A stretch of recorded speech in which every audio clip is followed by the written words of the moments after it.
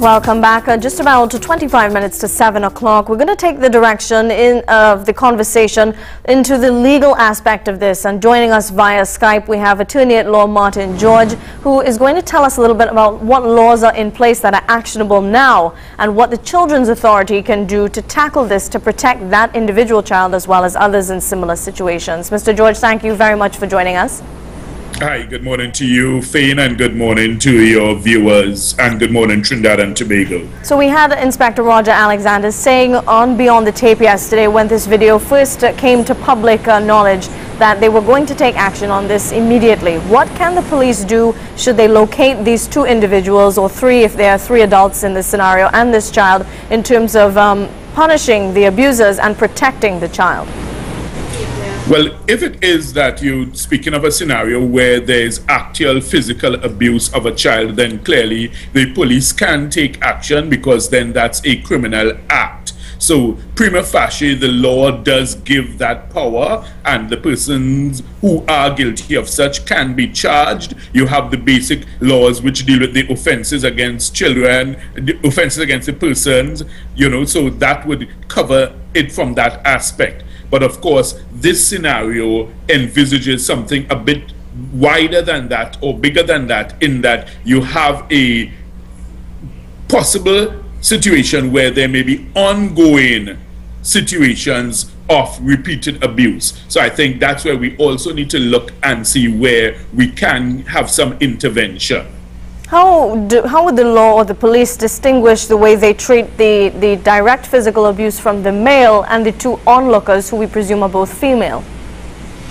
Well, in terms of the law, you can have something which would cover a scenario such as aiding and abetting in the commission of an offense. So, in other words, if you are not a direct participant, but if you have facilitated, aided, or abetted in the commission of that offense, then it can be that you would also be held liable under the law. We heard um, Ms. Anna Maria Moore in just now talking about the Children's Authority uh, perhaps needing more resources to be able to do the, the very um, important and heavy task that they uh, have to execute in situations like this. What can they do for this child? Well, the Children's Authority, um, we must remember this is a piece of legislation that has been proclaimed since the year 2000. It has been assented to since the year 2000. So it's been on our law books for quite some time.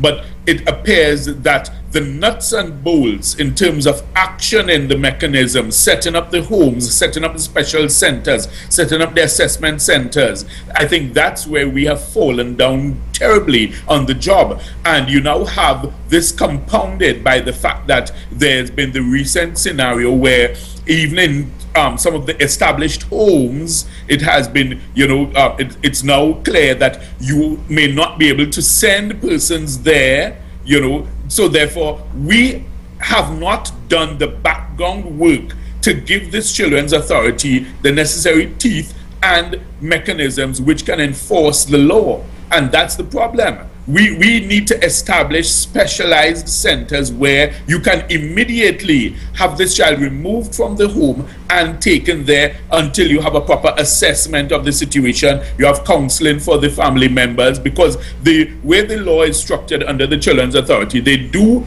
allow you to take into account factors such as the ties that the child has to those close to it. So, you know, you, you don't want to just necessarily break up a family but you may in some circumstances have to intervene because of the needs of the child and the need to protect the child from the very ones who the child loves and the very ones who actually may love the child. But they just have a very strange and distorted way of expressing that love. And that's where the law and the society safety net has to come into place is it difficult for investigators to establish a pattern of abuse in a situation like this where you're dealing with a child who is still in Pampers, who may not be able to, to verbalize, to recall, who may not want to recall or recount what has happened?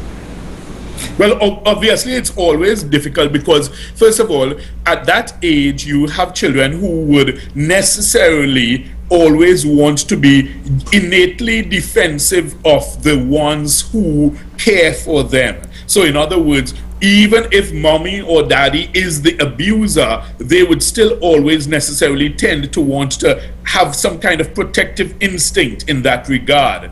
But of course, I would imagine trained psychologists would be able to spend time with such a child and be able to, you know, make them comfortable enough so that they can speak about it, explain what is happening, and the psychologists will be able to get them to understand that look telling us about the problem doesn't mean that you are necessarily putting your parents in trouble. This is for your own good. I, I know i mean in this case the child is two years old but it's not impossible to try and get that child to feel a certain level of comfort that the child can at least be able to um, share some experiences and again of course you're, you're talking in terms of parents we're not sure for certain who these these adults are in the video because we we're hearing comments along the lines of the mother didn't drop the, the stipulated or preferred type of milk and so on. And, um, but uh, this may be a situation where uh, parents have had to leave a child with caretakers and I'm wondering in terms of what the Children's Authority prescribes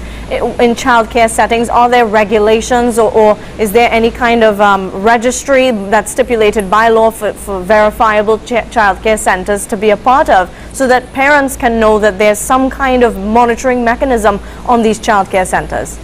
Well, under the Children's Authority Act, they speak of Children's Community Residences and Foster Care and Nurseries Act 2000, right? So this again is legislation that has been passed. It's on the law books. But of course, the question is, if you ask the Ministry of Social, the Division of Social Services, the Ministry of Social Services, where are these children community residences and these foster care centers and registered nurseries? I would imagine that's where the challenge lies. So while you may have things set out under the law, we have it on paper, our problem has been the implementation and actualization of these things. And I would hope that Trinidad and Tobago would use this incident and use this opportunity to make a serious call on our politicians, our leaders, to go past the talk and the rhetoric.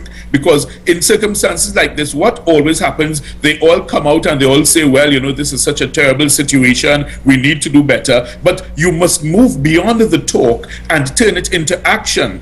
You've had persons like Stephanie Daly, senior counsel, who's been a major advocate for us improving our systems and social services for the care and welfare of children and the vulnerable in our society. And this is what any developed society does. You look and you measure a society by the way it takes care of the most vulnerable and the most dependent persons in the society. And I think we in Trinidad and Tobago are failing miserably in that regard. All right, Mr. George, we'll have to leave it there. Thank you for lending your expertise to the discussion. Um, something that has been said many times before, that it's time to take talk and turn it into action. Will this be the catalyst?